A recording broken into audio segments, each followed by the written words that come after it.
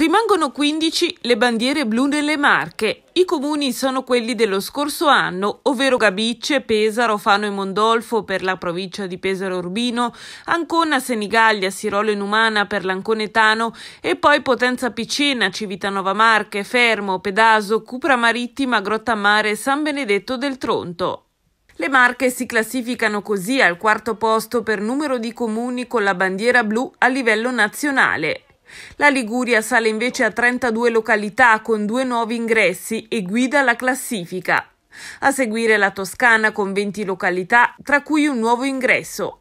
La Campania raggiunge poi le 19 bandiere e le Marche a seguire ne hanno 15. Tra i criteri della FEE non solo la qualità delle acque di balneazione, ma anche i servizi, la gestione ambientale e la sicurezza.